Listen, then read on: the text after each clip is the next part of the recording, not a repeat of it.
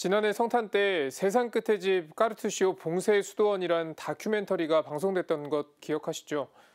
이 침묵과 끝없는 기도 속에 스스로 가난을 선택한 수도승들의 삶은 시청자들에게 깊은 감동을 줬습니다. 이를 극장판으로 재편집한 영화 봉쇄 수도원 까르투시오가 오는 19일 개봉합니다. 시사회 현장에 장현민 기자가 다녀왔습니다. 경북 상주에 있는 아시아 유일의 카르투시오 봉쇄수도원 분원. 수도원에는 예수 그리스도의 삶을 본받아 평생 세상과 단절된 채 살아가는 11명의 수도승이 있습니다.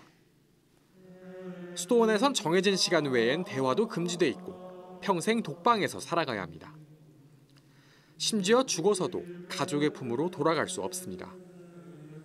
수도승들은 고독과 침묵을 오로지 기도로 이겨냅니다. 영화는 카르투시오 헌장을 따라 세상과 사람들을 위해 끝없이 기도하는 수도승들의 모습을 사실적으로 그리고 있습니다.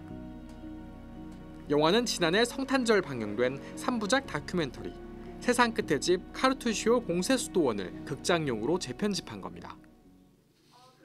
영화를 제작한 김동일 감독은 수도승들에게 들은 이야기를 전하며 수도승들이 평범하고 행복한 사람이라는 것을 알리고자 했다고 설명했습니다. 네, 이제 친구를 봤어요. 어떻게 봤어? 어떻게 봤어요? 뭐 좋은 작품이라고 생각을 하는데 우리는 그게 싫었어요. 별로 안 좋아해요. 왜요? 우리를 너무 독특한 사람이고 세상과 유리된 이상한 사람으로 다루는 것 같았어. 근데 우리는 되게 평범한 사람들이고 행복한 사람들입니다. 우리 그렇게 좀 다룰 수 있으면 좋겠어요. 다큐멘터리 제작은 감독 본인에게도 큰 영향을 끼쳤습니다.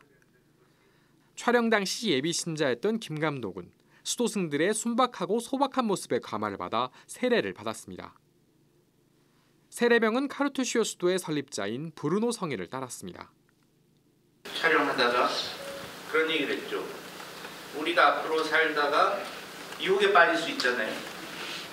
물질적이든 뭐든 뭐 술을 고주망태든 먹을 수도 있고 사치를 할 수도 있어요.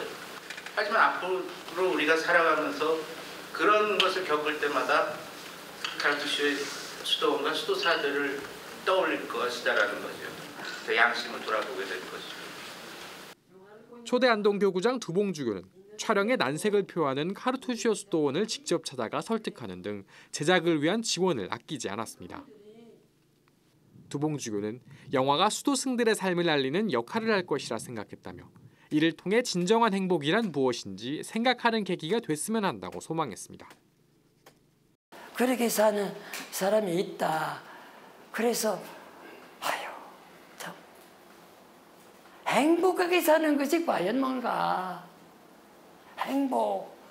그래서 내가 행복이 행복하게 살라고 그러면 어떻게 살아야 되는가 한번 보고 생각해 보라는 그런 이야기를 하고 싶어요. 수도승들의 소박하지만 위대한 삶을 다룬 영화 봉쇄수도원 카르투시오. 19일 개봉하는 봉쇄수도원 카르투시오는 이기주의와 물질만능주의에 물든 세상을 향해 작지만 큰 울림을 줄 것으로 기대됩니다. CPBC 장현민입니다.